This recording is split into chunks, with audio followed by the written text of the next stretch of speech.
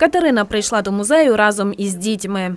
Просто спонтанне таке рішення прийняли. Задоволені, що всі будиночки майже відкриті. Все можна подивитися, заглянути, світло включене. Нам це дуже сподобалося. Заходити в будиночки у старому селі можна, розповів старший науковий співробітник музею Дмитро Магаляс. Біля хатинок є розмітка для дотримання дистанції. А в приміщення музею, де відбуваються виставки, заходити зараз не можна.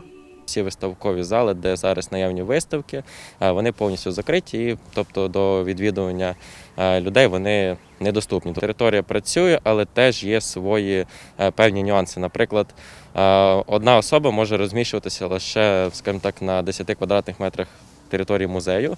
І, наприклад, якщо ви підходите до будь-якого об'єкту нашої експозиції на території музею, то там є, скажімо так, така табличка, де йде застереження, що не більше трьох осіб е, на даний об'єкт. Біля каси відвідувачам музею вимірюють температуру. На вході до каси стоїть такий, скажімо так, така тумбочка, на якій у нас розміщений, власне кажучи, антисептик.